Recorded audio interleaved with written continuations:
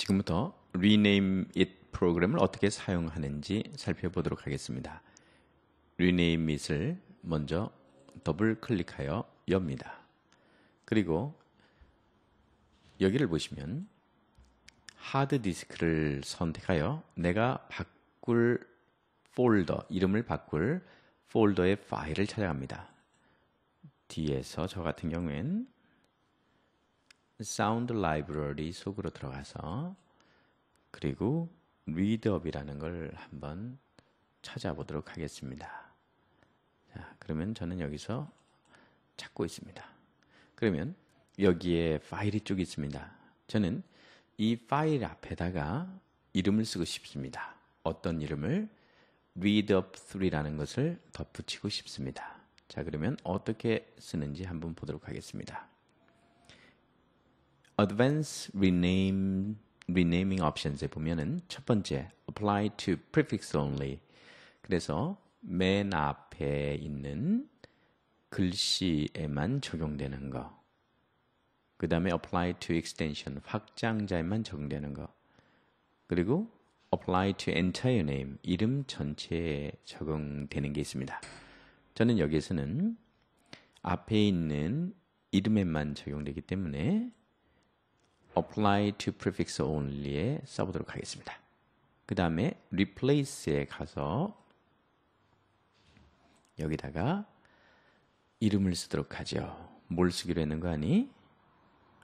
unit 1 유닛 대신에 앞에다가 read up 3 그 다음에 언더바를 해서 바꿔보도록 하겠습니다. 그러면 지금 replace에서는 unit이라는 단어를 read up 3 unit으로 바꾸게 됩니다. 유닛 언더바까지 해야 되겠습니다. 자, 그러면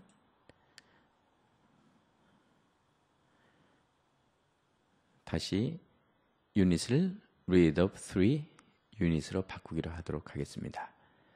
자, 이제 rename it을 실행하기 전에 선택을 해야 합니다. 선택은 마우스로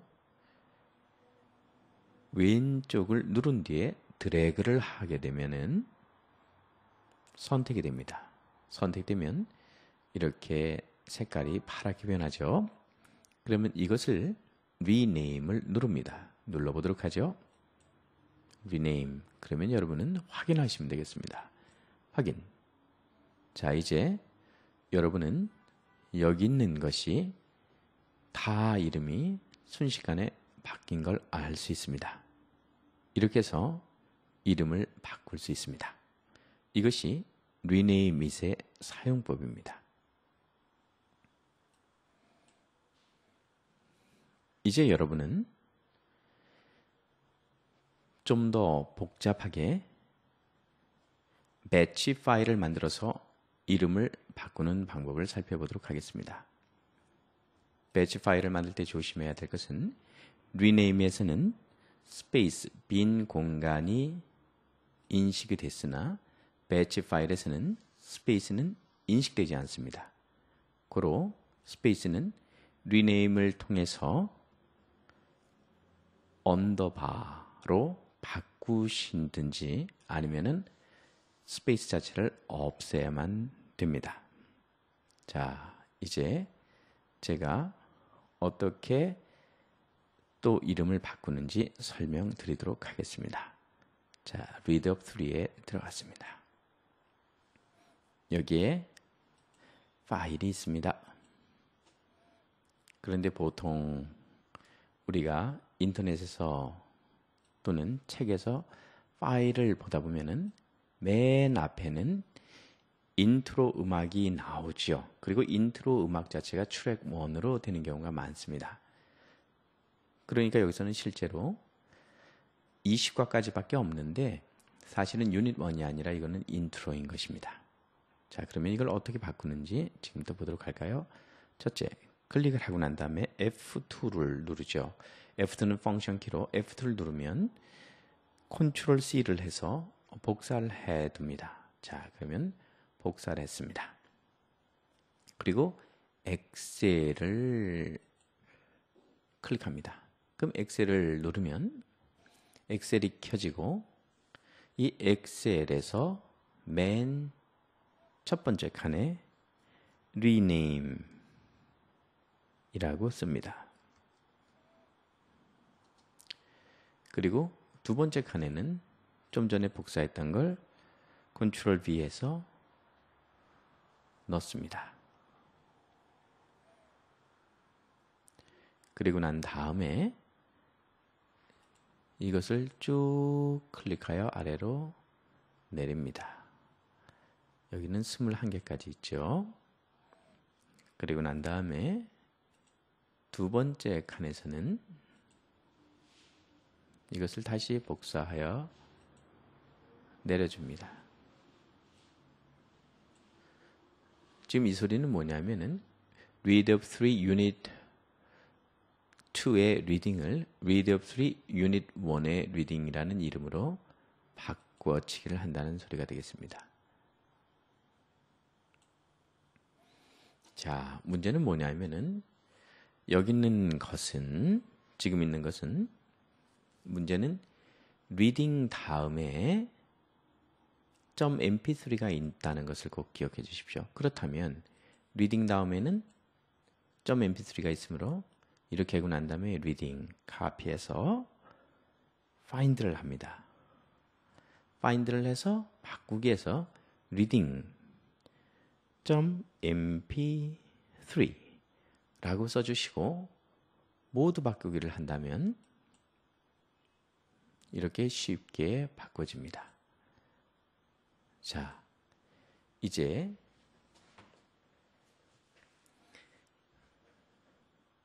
reading 1은 충돌이 일어날 수 있으므로 먼저 이 reading 1은 인트로이기 때문에 지워버립니다. 필요가 없으니까요. 그러면 여기 있는 것을 어떻게 하는지 보도록 하겠습니다. 자, 보시면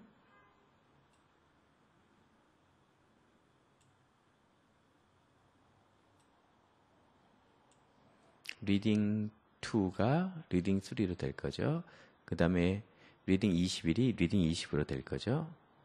그리고 여기서 readup 3 이 이름조차 없애시고 싶다면 여러분은 여기에서 카피를 해서 이 부분만 선택해서 find 하여 놓고 그 다음에 바꾸기에서 아무것도 없게 해주신다면 구열만 이렇게 또 바꿔지겠죠.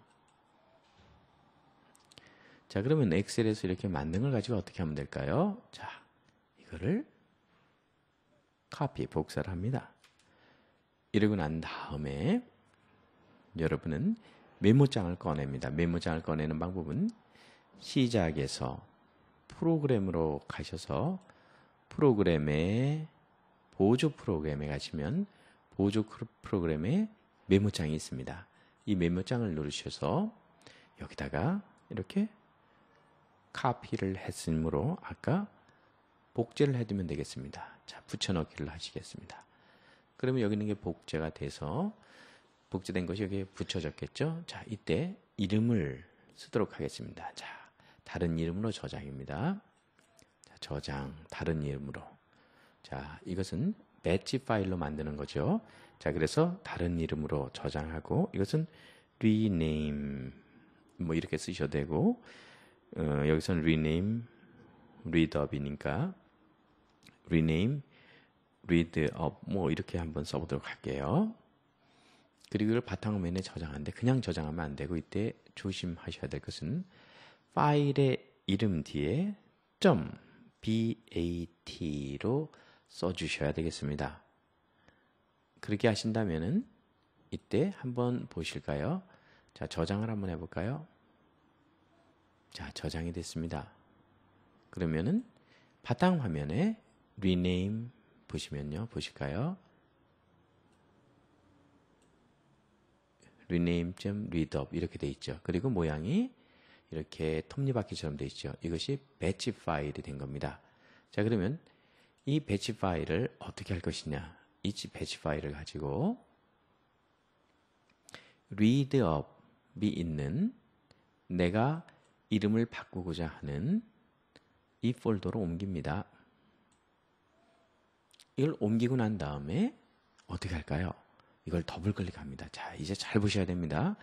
여기 있는 유닛 2는 유닛 1으로 바뀔 것이고 유닛 21은 유닛 20으로 바뀌고 앞에 있는 readup 3는 사라질 것입니다. 자, 더블 클릭해 봅니다. 하나, 둘, 셋. 실행, 시작, 땅땅. 더블 클릭했습니다. 네. 변화된 걸 여러분은 보실 수가 있습니다. 이렇게 해서 아주 쉽게 불규칙적인 것을 규칙적으로 또 여러분이 원하지 않는 것을 여러분이 원하는 형태대로 이름을 바꿀 수 있답니다.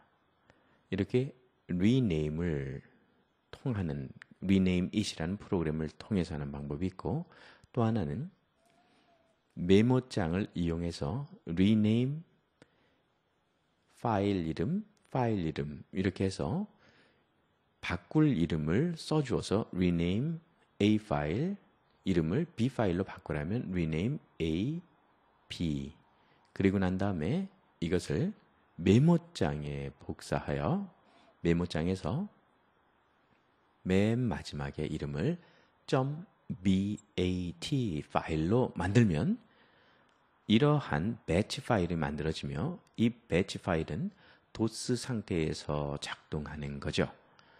그래서 순식간에 여러분이 원하는 이름을 바꿀 수 있습니다. 이렇게 이름을 바꾸는 방법은 Rename It이라는 프로그램을 사용하는 방법과 그리고 여러분께서 도스 상태, 즉 메모장을 이용하여 배치 파일을 만드는 방법 두 가지가 있습니다. 이상입니다.